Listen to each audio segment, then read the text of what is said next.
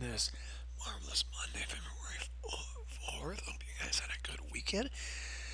And I hope you're right at work hard in class today. Here we go. Um, here's the schedule for the week. Notice we'll have a quiz today and a quiz on Wednesday, okay? We'll start reviewing for your test. Your test will not be until next Friday. Remember, there's no school on Monday and Tuesday, and I usually do not give tests on a Thursday, and so we'll finish reviewing for the test next Wednesday and take the test on Friday. Okay, so quiz today, quiz Wednesday, test next Friday, and here's the schedule for the week. Okay, um, please turn this assignment in. It was given to you Friday. It's due today. Listen, listen, listen. Someone turn this assignment in early, which is good. They did not put their name on it, so I put it back in the folder. It says, so I forget what I wrote, who is this, or no name or something, so someone needs to put their name on it and turn it back in. Okay?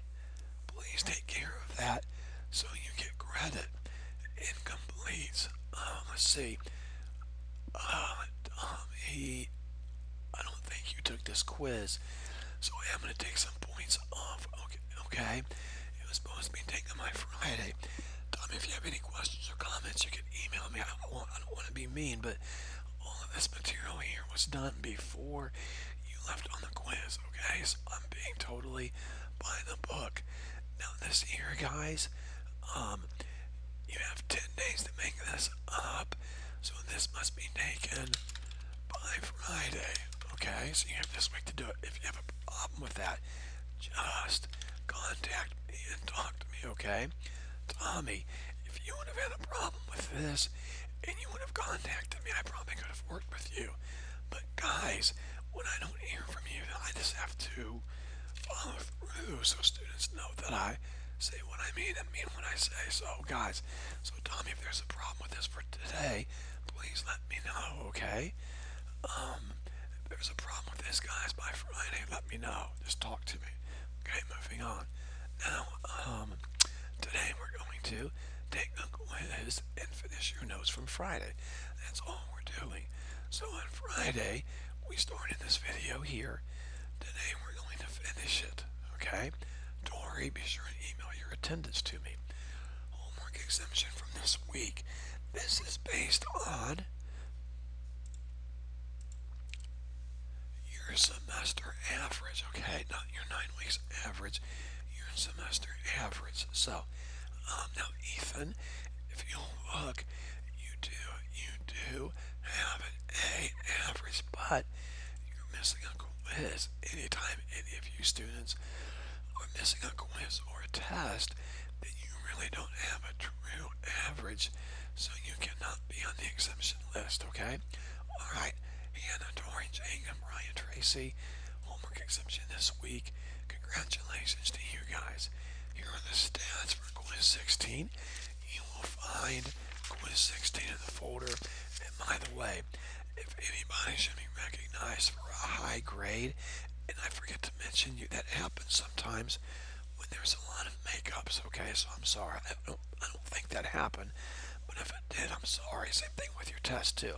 Okay, quiz 16. First mistake was one point off. Second mistake was five points off. Every mistake thereafter was nine points off. Highest grade in the class was 90. Uh, 90. Can't see you guys. I'm getting old. 99 for Ryan. 99 for Hannah. There were plenty of other A's, but those two were the two highest. Congratulations to them.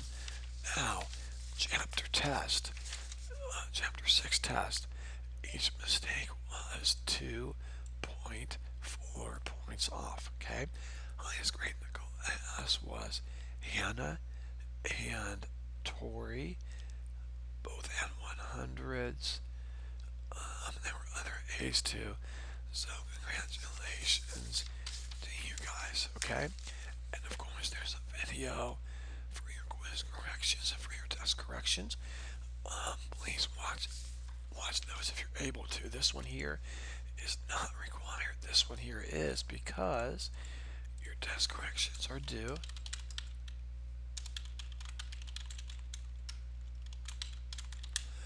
By Monday. So please don't, sorry for yawning, please don't forget that test corrections are due by Monday. Alright, let's go over today's quiz. I have emailed the quizzes to Mrs. Hicks and also to Mrs. Little. So please pause the video, get a copy of the quiz, and then restart the video. Okay, guys, one, two, and three. Simplify those as far as possible. Four and five. Add and multiply those two radicals. Remember, are you listening? For four and five, be sure and simplify your answers as far as they go. That's it, guys. Please get to work on your quiz and your notes. Have a great day. Contact me if you have any questions.